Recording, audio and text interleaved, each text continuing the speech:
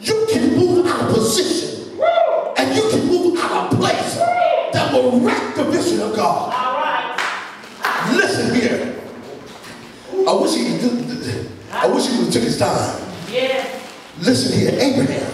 Uh-huh. The Bible said Paul is one Uh-huh. born or called out of due season. Yes. Consider the text.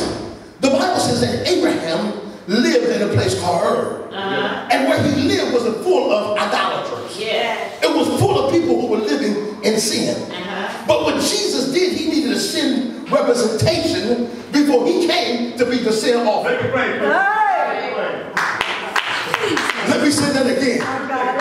Jesus needed a sin representation before he came and was a sin offering. So Abraham, this is what I need you to do. I need you to get away from your country. Uh-huh. I need you to get away from your family. And I need you to get away from your father Yeah. into a land that I will show you. Listen to this. You don't understand how prophetic the word of God. Do you know that it was already in the mind of God when God wrote in John in 14th chapter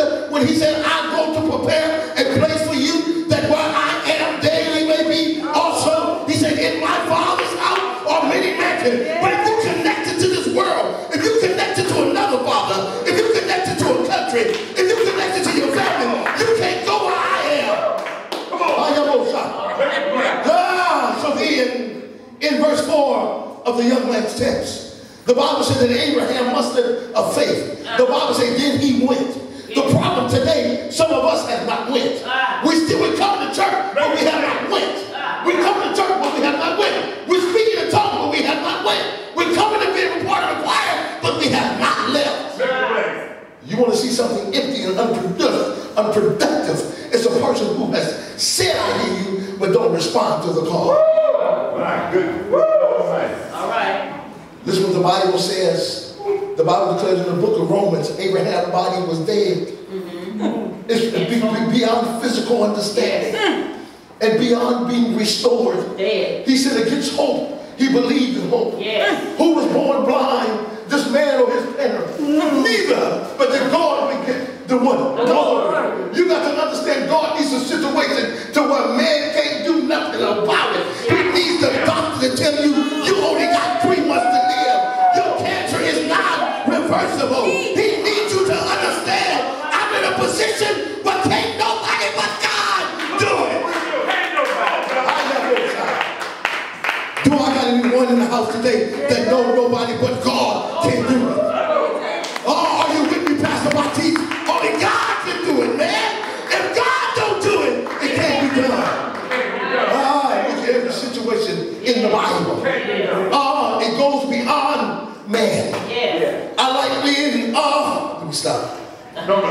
So listen, Yes. here Peter and John at the gate. They're walking into the temple. Yes. And there's a man there who had been there for a period of time, Yes. begging alms. Yes. And Yes. listen what Peter said. He said, look upon us. Yes. Oh, but if you don't have nothing to look upon, uh, how you gonna give somebody something? There's something about a beautiful woman. She don't have to, I'm, I'm- I'm in the right place, First Lady, please. All right. Understand? I would say it this way. All right. Look at First Lady then. She says, look upon me. The reason she's telling me to look upon her because my glory should be seen in your eyes. Ah, so then when Peter says, look upon us, we represent the magistrate. We represent heaven.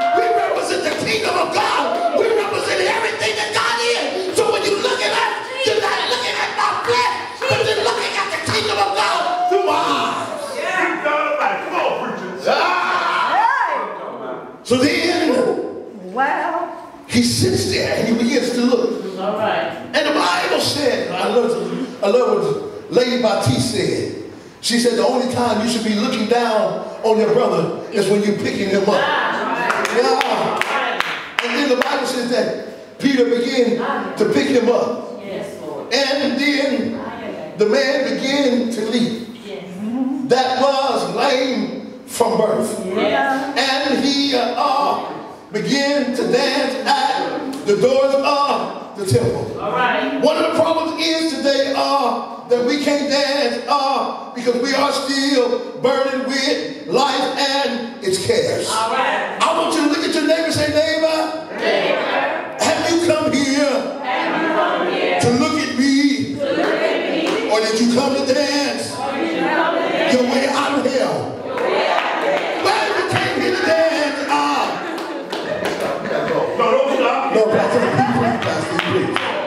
listen at me. Listen at me. You need to make sure.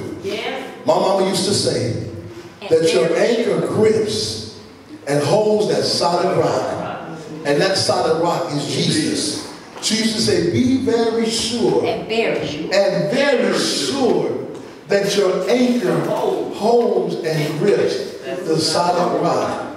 I'm only sitting here today after being a diabetic for 20 years with no situations or issues. I tore up my own knee trying to run downstairs to give my wife a kiss. That, that ain't had nothing to do, that ain't had nothing to do with diabetes. That was me. You understand? I, I came downstairs and my knee pushed up in my thigh. You understand? So, so listen, she said, oh, so you was kissing. Watch this. Tell him it's goodness. Amen. Laughter is good for the soul. But I, I want to say this today. Today somebody's on the gate of indecision. The gate right now swings both ways. But after Jesus comes, it's only going to swing one way. Noah built an ark. And they watched Noah in my closing. And they said, oh, bald head, crazy man. Yes. They weren't talking about you, Pastor Baptiste. They were talking about Noah. I love it. So then, Noah worked for 120 years and he preached that it was going to rain. And unfortunately, uh, Minister Hyler, no matter what you tell some people, they just ain't going to get it. Ah. You can tell them, you can tell them till the sun goes down, they don't care. We live in we living in a party while we live in the world want to get turned up. The whole thing now is being turned up. And God is being turned down. Ah. And nothing you can do about it. You keep turning up the volume with your voice and let them get turned up. And after a while they're gonna get turned down. I'm gonna close with this story. I'm gonna close with this story. Yes, Lord. There was a young man one day, he was 15 years old. And Father Time went to the young man and said, I need to talk to you. I need to tell you some things about your life that's about to befall you as you become an adult. He said, young Father Time, I'm only 15. I don't have time right now to talk to you. So Father Time went back to him when he was 20. He said, Father Time said, I need to talk to you. There's some things about your life, Shania, that you need to know before you get to that age. He said, Father Time, and I'm 20 years old. I'm having a ball. I'm getting turned up. I got reefers. I got, that's what, they, that's what we used to call it. I got, they don't call it blunts or medical marijuana now. We call it reefers. I got some reefers and I got some alcohol and I got some things right now that I'm enjoying life. Father Time called him on the backside of 30. Come on, Bishop. And he said, Father Time said, I need to talk to you. There is some desperate information that I need you to know. Young man, he told Father Time, man, I'm at the prime of my life. I'm having fun. I can't talk to you right now. He came to 50 years old. And Father Time was nowhere to be found. He went to the doctor. And the doctor said, you have terminal cancer. And you're going to die in three months. He begged for Father Time to come to him and talk to him and to revisit him. Father Time showed up and said, how can I help you, man? He said, I want to live. Father Time looked at him and told him, I'm sorry, your time just ran out. Don't let your time run out. While the blood is running warm in your veins. And right now, you got the opportunity